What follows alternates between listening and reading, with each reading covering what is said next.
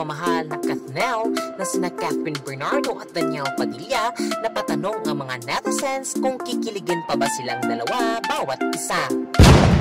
Sa sampung dekadang pagmamahalan ay syempre nakita nating dalawa sa kanila na hindi na sila kikiligin. Pero deep inside na mahal na mahal nila ang isa't isa, kikiligin pa rin silang dalawa.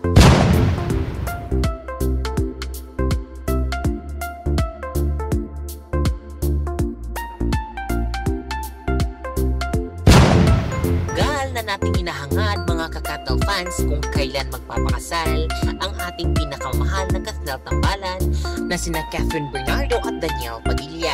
Dahil bilang isang tagahanga o taga-supporter ng Kathnel ay syempre gusto nating magpakasal na silang dalawa.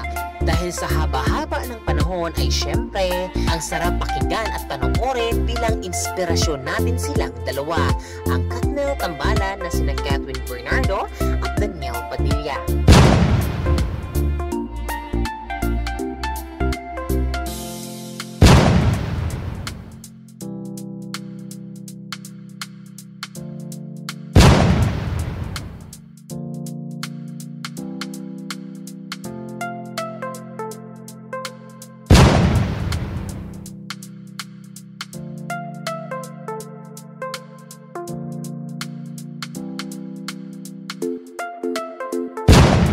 Bilang isang nagmamahalan ay ang sarap ng pakinggan na umabot tayo ng sampung dekada dahil nga pinaghihirapan ninyo bawat isa ang inyong pagmamahalan sa kasyahan, kalungkutan, at mga pagsubok na dumaan.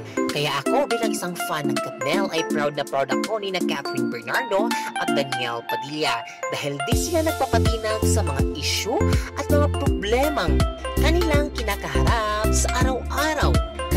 minsan masasabi ko talaga sa sarili ko na ito ang love team na to ay dapat tularan at inspirasyon. At kung ikaw man ay baguhan sa aking channel, huwag kalimutang mag-subscribe at i-click ang notification bell at comment down below para updated pa kayo sa mga bago ko pang mga video. God bless us all mga kakatno fans naway mag-ingat tayo sa pandemyang ating kinakaharap ngayon. God bless